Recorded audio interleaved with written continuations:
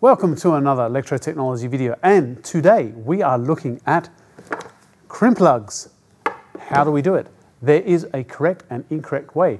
So watch on and let's find out the correct way to apply crimp lugs.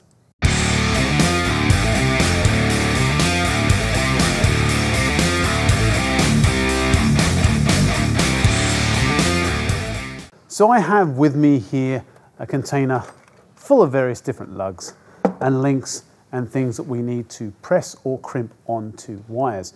Now, I have seen over the years many, many people actually do this incorrectly. Uh, it's very, very simple, but most people that use these things generally aren't trade qualified electricians. So there's a couple of little things that we have to do uh, that they're unaware of.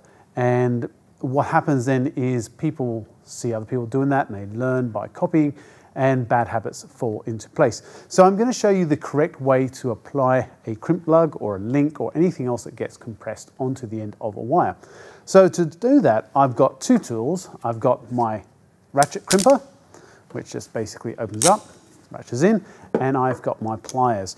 For the most part, you'll probably use your pliers for small little jobs, but there will be certain jobs where you will be required under the standards and even under some of the specifications for various buildings and building sites and premises and all that sort of stuff, where you are required to use ratchet crimpers like this or much, much larger. Um, so keep that in mind when you are working, uh, the type of work that you are doing and whether or not you should be using either one of these tools. So let's start with a piece of cable. We'll strip the cable and I'll show you how to actually put it all together.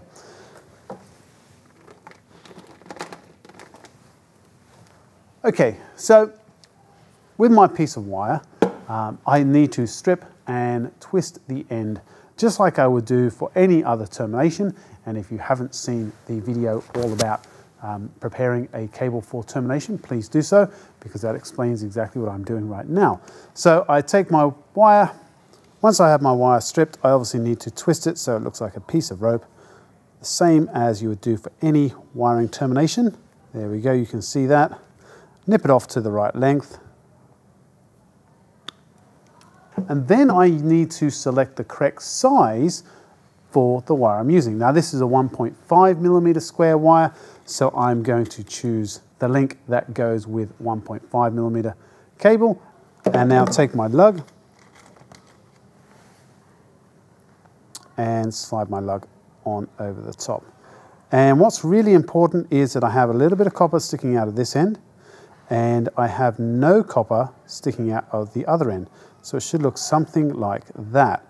Now with my ratchet crimpers, I'll take the crimpers and you'll see that there's a section here on the crimpers that will squash down. Depending on the ratchet crimpers you're using, some of them will have like a hexagonal clamp that clamps down on them, especially the larger ones. This one just has a point where it basically squashes in at the bottom. So I need to make sure I'm lining that up correctly and I need to make sure that goes on the underneath like that.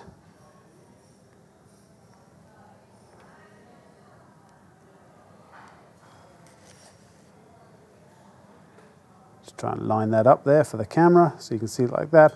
And I squash this down all the way.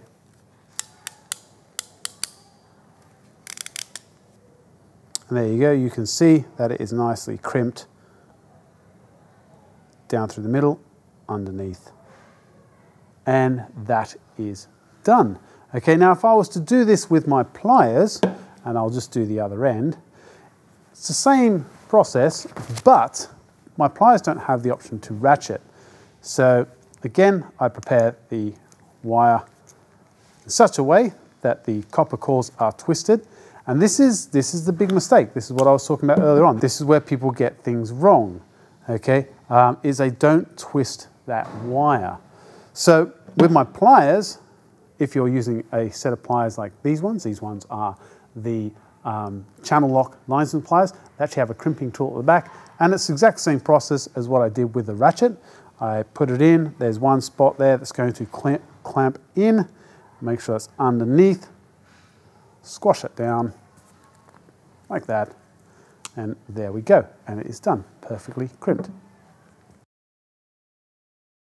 Now, the big mistake that I mentioned earlier was that if you don't twist the wires um, and you just put the wires straight into this lug and you crimp it down, what happens is the wires will spread apart and the individual cores can then essentially break off, um, which is no good.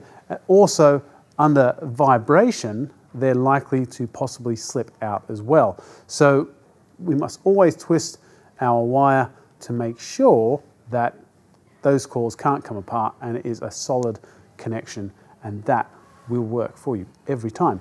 And that is really all there is to crimping. There's nothing more than that. You have different sizes, different types. This one's a link, so I can put cables in either side. I have push-on lugs like this one where I can actually just push things on. I have the ones I've used here which have got loops. There's all sorts of different types that you can use for different parts of the industry.